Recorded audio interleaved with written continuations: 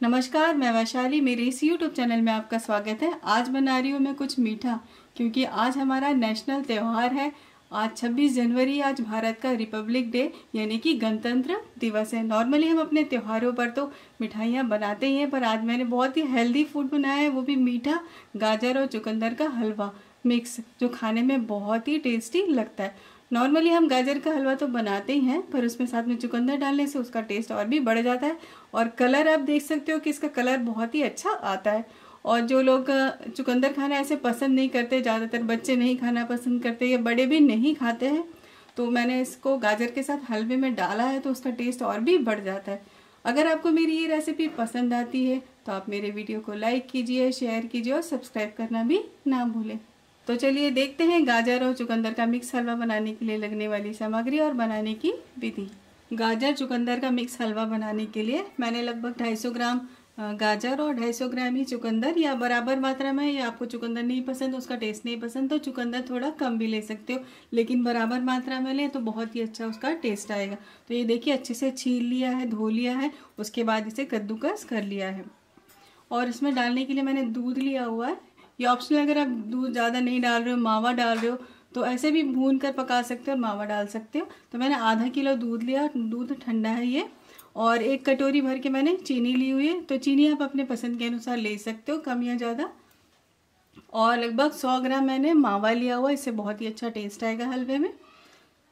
ज़रूरी नहीं है कि आप मावा डालें ही। अगर आप, मैं जैसे आधा किलो दूध डाल रही हूँ तो आप एक किलो दूध भी डाल करके हलवे को बहुत अच्छे से पका सकते हो कि जब पूरा उसमें एब्जॉर्व हो जाता है ऑट जाता है दूध तो उसका टेस्ट बहुत ही अच्छा आता है। और इसमें इलायची डालूँगी, जिससे बहुत ही अच्छी खुशबू भी आती है। लगभग आठ से दस दाने लिए हुए ड्राई फ्रूट्स आप अपने पसंद से डाल सकते हो। काजू, किशमिश, बादाम, चिरौंजी तो मैंने काजू और बादाम लिए हुए और लगभग एक बड़ा चम्मच मैंने घी लिया हुआ देसी घी। इससे बहुत ही अच्छा टेस्ट आता है हलवे में। पहले थोड़ा सा भूनेंगे हम।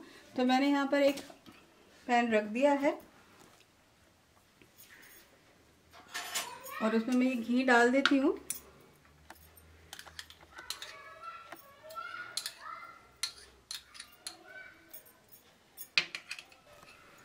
घी मैंने डाल दिया था, अच्छे से मेल्ट हो चुका है। तो अब मैं इसमें गाजर और चुकंदर दोनों ही डाल दूँगी।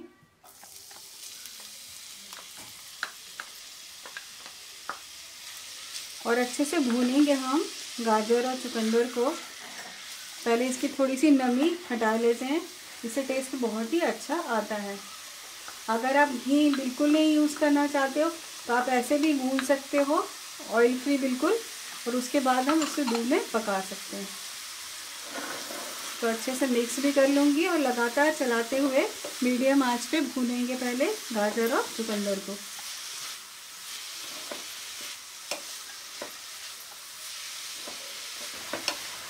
ये देखिए, मैंने अच्छे से मिक्स भी कर लिया है गाजर और चुकंदर को साथ साथ लगातार चलाते हुए इसे भून भी रही हूँ, क्योंकि घी भी डाला है हमने। तो हम जब कद्दूकस करते हैं गाजर और चुकंदर को, जो नमी पानी रहता है इसमें, वो भी सूख जाएगा तो इससे टेस्ट बहुत ही अच्छा आता है। तो मैं इसे लगातार चलाते हुए लगभग पाँच से छः मिनट मीडियम आँच पे भून रही हूँ। ये देखिए, लगातार चलाते हुए मैंने गाजर और चुकंदर को भून लिया है। और कलर आप देख सकते हो कि कितना अच्छा आया है चुकंदर के कारण। तो अब मैं इसमें दूध डाल दूँगी। ये दूध ये ठंडा ही लिया हुआ है।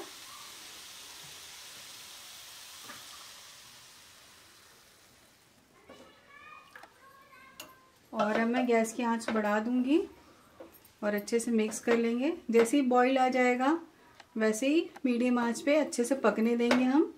गाजर और चुकंदर को थोड़ा सा रिड्यूस हो जाएगा जब ये दूध, तब हम इसमें चीनी डालेंगे। तो अभी मैंने आँच बढ़ा दी है। ये देखिए, दूध डालने के बाद अच्छा सा बॉइल्ड आ गया, लगभग दो मिनट हो चुके हैं। तो अब मैं इसमें चीनी डाल दूँगी और मैंने गैस की आँच फुल भी रखी हुई है। तो अब मैं चीनी डाल दूँगी। और चीनी आप अपने टेस्ट के अनुसार ले सकते हो।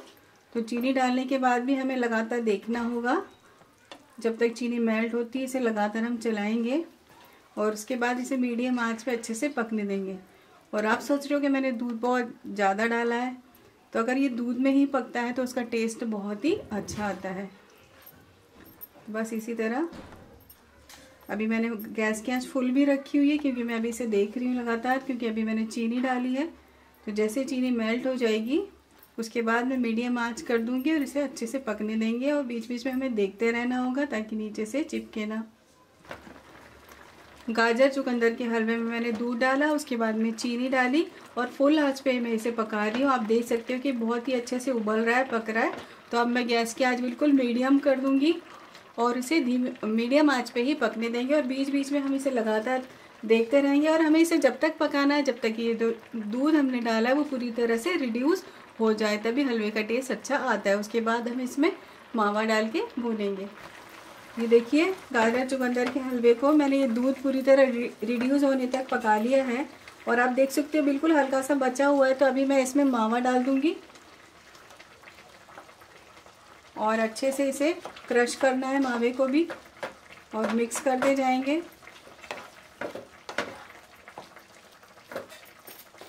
और जैसे ये गर्म होगा मावा तो अपने आप ये मेल्ट हो जाएगा।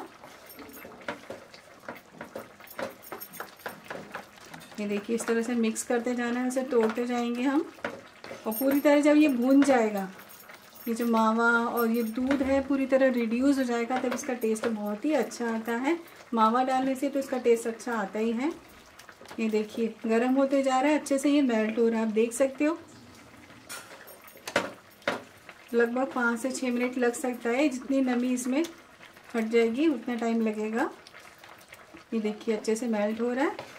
और इसी तरह मीडियम आँच पे मैं लगातार चलाते हुए इसे भून भी लूँगी साथ में और ये मेल्ट भी होते जाएगा। और अभी आप इसमें दिख रहा है जितना मॉइस्चर ये पूरा सुखाऊँगी मैं।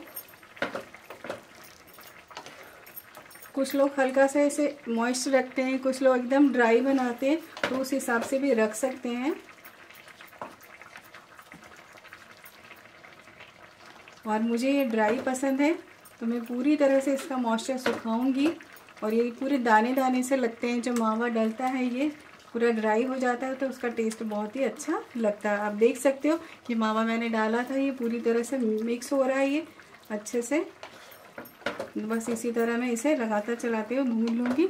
लगभग पाँच से छः मिनट लगेगा और ये हमारा गाजर चुकंदर का हलवा तैयार हो जाएगा। ये देखिए, गाजर चुकंदर का मिक्स हलवा, आप देख सकते हो कि कितना अच्छा इसका कलर दिखाई दे रहा है। और अब अभी आप देख सकते हो कि इसमें घी दिखाई दे रहा है। इसका मतलब हमने जो दूध जो डाला था वो पूरा रिड्यूस हो चुका है, उसी के साथ पका है। और फिर भी देखिए कलर में फ़र्क नहीं आया है क्योंकि हमने इसमें आधा किलो दूध डाला था और मावा भी डाला था। तो मावा डालने से ये देखिए, दानेदार दिखाई देता है और खाने में बहुत अच्छा इसका टेस्ट आता है। तो मैं इसमें इलायची डाल दूँगी। मैं जो कूट लिया है मैंने इलायची को। और ड्राई फ्रूट्स काजू और बादाम। ड्राई फ्रूट्स तो आप जितने डालें उतने ही अच्छे लगते हैं। थोड़ा सा गार्निशिंग के लिए रख देंगे और अच्छे से मिक्स कर दूँगी। गाजर चुकंदर का मिक्स हलवा खाने के लिए तैयार है। अब मैं इसे सर्व करूँगी। गाजर चुकंदर का मिक्स हलवा बनके तैयार है खाने के लिए और आपने देखा कि इसे बनाना कितना आसान है और खाने में भी बहुत ही टेस्टी लगता है। क्योंकि नॉर्मली हम गाजर का हलवा तो बनाते ही हैं, पर चुकंदर के साथ उसका टेस्ट भी अच्छा आता है और कलर भी बहुत अच्छा आता है।